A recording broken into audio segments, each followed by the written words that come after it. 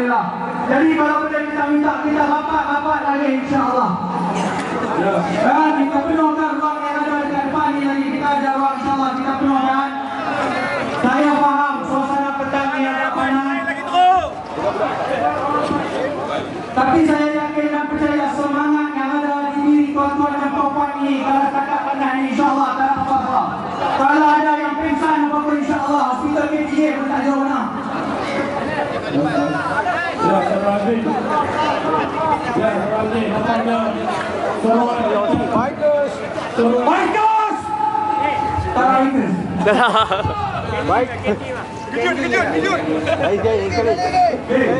Tarawih. Baik.